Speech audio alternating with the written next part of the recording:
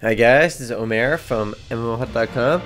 I'm the first impression gameplay video for Shadow of Legend, free-to-play 2D fantasy MMORPG published by SmartCell. Now I'll spend about 5-10 minutes running around checking the game out, making some comments. If you guys want to play Shadow of Legend or just learn more about it, check it out full review on the link below.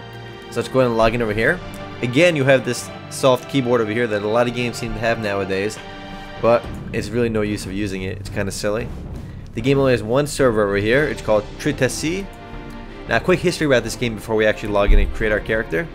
The game was announced originally in 2007 as this revolutionary new uh, smartphone slash PC MMORPG. The game was meant to be played on a smartphone, any internet capable smartphone, iPhones, Droid, and stuff like that, as well as the PC. And that would have been really cool. You know, you can play on the PC while you're home on enhanced graphics, and when you're on the go, you can kind of play on your phone. But in 2008, that all stopped. They're like, you know what? We don't know how to develop for the smartphone. We're going to stop doing that because we have no idea what we're doing. And the whole smartphone concept was sort of trashed. And now it's just a standalone PC MMORPG with uh, uninspiring 2D graphics. But anyway, let's see how the game is right now. We have the Union and the Chaos, which are the two playable factions in the game. Uh, it looks like the Unions are the good guys and the Chaos are the bad guys. One thing I never got about a lot of these MMORPGs, there's always like an evil or chaos faction. I mean, what do these guys get out of chaos? Like, I, I don't I don't see their purpose in life. But that's too deep for me anyway. Let's just go. We got dwarves and what are these guys? Orcs as the two chaos races. The classes include. Do I have to scroll over here or something? No. Let's see what we got here for the classes. How can I change my class? Down here, yeah. So we have we have combatant, which sounds a lot like warrior.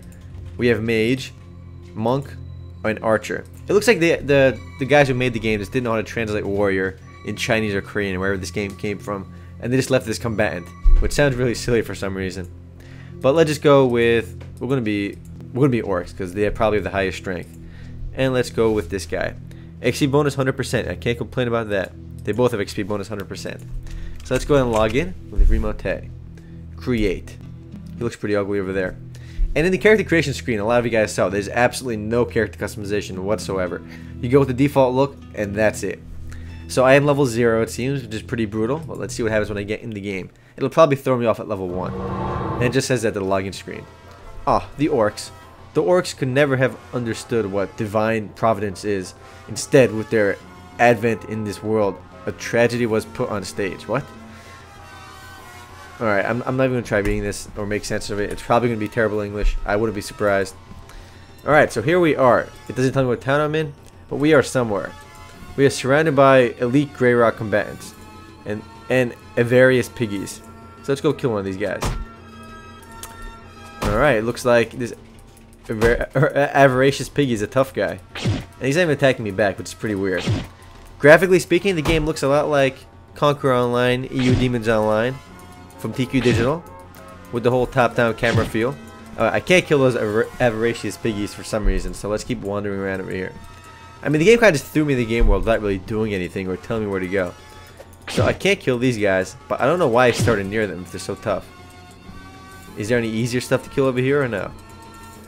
Let's just keep wandering around. The game's player base is pretty low. There's only one server in the game. And I just cruised on the game's forums while I was downloading the game. And from what I've seen on the forums, the biggest complaint with the game, and this is really the only way to really find out about this right away, is that the GMs just really don't care about the game. I mean, it comes down to a lot like uh, Age of Armor. There's a lot of hacks in the game, a lot of hackers, and people just ruining the game. One guy was complaining the that he sent, you know, there's an in-game mail system, kind of like in WoW, he can send items. He sent the mail to his friend, and it, neither of them ever got it. It got lost in mail, which is pretty funny. But there's a lot of dupes in the game, hacks, and just everything to ruin the game. And the GMs are just very slow to patch it, if they ever patch it. I mean, if, and the official website is pretty funny because the latest update was in like 2008. But on the forums, the, the GMs are still a little bit more active. And I have no idea where I am. What am I supposed to do? Can I go outside town and kill stuff? Uh, maybe I can kill this lucky piggy. Avaricious piggies are too much for me, but maybe I can handle the lucky piggies. Nope, it looks like I can't kill these guys either. Why am I so gimp? Let's go outside town. Do I have a map? Yeah, we have a map over here. Wow, it's a pretty big area. M does bring up the map, and you can see things pretty clearly. Oh, thank God, they have this awesome feature. This is something a lot of games do nowadays, so it's kind of cool to see this game have it. You can kind of left-click anywhere on the map, and your character will automatically move there. And the game even traces a little line to show you how you get there, which is nice. I mean, this makes just getting around the game world a lot easier, especially when the game world is really big and kind of confusing. So maybe we can find some easier monsters outside of town. The music in the background is pretty is nothing special, but eh. At least the game has music. Age of Armor didn't have any music. Know my character over here, my level 1 combatant. So yeah, the game lied. I wasn't level 0, I was level 1. I got a hammer, charmed milk, alright, and an apple. Let's find something to kill now. These little dots on my radar. Infected boars. Come on, level 1. Level 11? Holy crap, why are there level 11 outside of town? Shouldn't there be level 1s in this area? Wow. But inflamed lion. You know, I am gonna try my luck on the inflamed lion. Are they all level 11? Yeah, everything's level 11. If I can't kill this guy, I'm kind of screwed.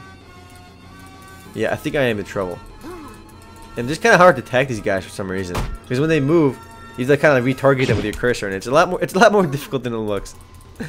yeah, I can't kill this inflamed lion. Why on earth the game is throwing me in this high level area is, is beyond me. Let's find some lower level enemies. Maybe down here. Sure as heck isn't up there.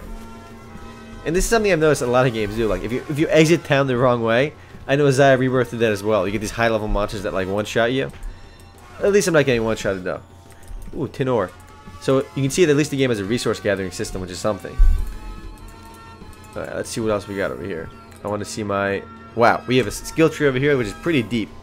So it looks like after you start progressing in the skill tree over here, you can start breaking off into other classes. You can be an armor man, gladiator, defender, it all depends how you kind of work your way through the skill tree, which is really nice. Barbarous Warrior, Berserker. So the game does have a lot of variety. Every class in the game, I imagine, the four classes, which isn't a lot of classes, but all each of the four classes have these the same you know, four these deep skill trees. We got living skills as well for the resource gathering in the game. So in terms of variety, the game has that pretty much covered. It just looks like the biggest problem is I can't find anything to kill right now, and that the GMs really don't care about the game, and that can really ruin a game because no matter how good a game is, if the developers and the publisher just really does, you know, aren't going all out with it, aren't trying their best to keep it updated, the game can get ruined very quickly. So many people on the forums complain about hacks, the characters getting deleted, the the game is screwing up overall. So let's go back somewhere else. Hopefully I can kill something easier where I am now. Nope. We are going to go back outside town and kill some higher level monsters again. The game's level cap though was like 90 plus, and experience is supposed to be pretty fast paced which kind of like one of the game's features. I mean, the advertising got the faster paced experience. But the problem is, I can't kill anything. Come on. Maybe I'm just doing something horribly wrong. If I am, somebody please tell me. But right now, I'm going outside town, which you're supposed to do, and I can't do anything. Maybe I'm supposed to be questing until level 11, which I'm, I'm going to see if I can quest. Let's click on this exclamation mark. Welcome to the 30 days. Nope, welcome to the 7 days now. Adventure Association. I don't want to read this. The translations aren't going to be good. You have been the focus of attention ever since you turned up here. You already found place in a file record of adventurers. Blah blah blah. Reply. There's no point. It's an NPC talking to me. I don't want to reply to him. Okay, closes out? Yep. I think I, I can't do anything outside town. Let's go back inside town. Maybe I can grab a quest or something to level me up a little bit. The game's cash shop is over here if you want to buy some stuff. Map over there. We got our mailbox system. And we got attack. Is anybody talking in the game? Oh, this guy has a quest for me. Gilder Takola. Equipment manufacturing. Let's just agree to the quest. Good stuff. I don't want to do it though. Let's find an easier quest. I don't want to make stuff. Come on. I want to just get higher level. ASAP. Okay, no. Let's bring up Elf my quest. I need to do this. Ooh, 1,000 experience. Alright, we're doing this. I don't want to read all this. Why can't they give me a nice little summary? Try to find the crafting master. Alright, that's good. Just find the crafting master. Is he outlined on the map? Nope. He is not over here. I have to I have to literally search every one of these guys for the, the crafting master. How terrible is that? Couldn't he be at least like glowing on my screen? Oh, he's right there. Is that him? Yeah, boy. Crafting tutor. He's not the crafting master. He's the crafting tutor. The game is lying to me, but it is crafting tutor over here. Actually, I can just click on him over here to get there, which makes it a lot easier. And that's the same system in Redcliffe. I know in Redcliffe, if you click on it, you just get there automatically. So I just got level 2 already. Good stuff. Any other quests for me to do? Because that was awesome. So I guess in order to leave town, I gotta complete these lower level quests first. Otherwise, you're gonna get owned outside of town. Did I get any skill points or stat points? So it, let's see. Yeah, it doesn't look like I get stat points per level, and you get those kind of just automatically as you level up, rather than as you play and just level up. Let's see. Let's keep walking around town over here looking for new quests. So I gotta keep my eye open for these because for some reason there's no exclamations on their heads. There was a dude with a red thing over here. No, those are just more those pigs that are high level. So I gotta find quests in town, but for some reason they're marked. I mean, it would be a lot easier if the quests were marked on the map. I mean, it's pretty stupid that they aren't. I mean, in most games now, they are marked. And this, this comes down to convenience. I mean, some guys, you know, some of you guys might say, oh, it's too easy that way. But come on, there's nothing else for me to do. If I don't complete these quests, I can't go outside town. There's a mu mushroom cultivator. Cool guy. He's got a fun job. He cultivates mushrooms. I, I like the emoticon he makes over here with the Kirby face. Let's find some more quests. No, these avaricious piggies don't die. You can't kill them. So, I've yet to bump into another player either. Well, guys, I am running out of time. If you guys do want to play Shadow of Legend, just check it out full review on the link below. Later, guys.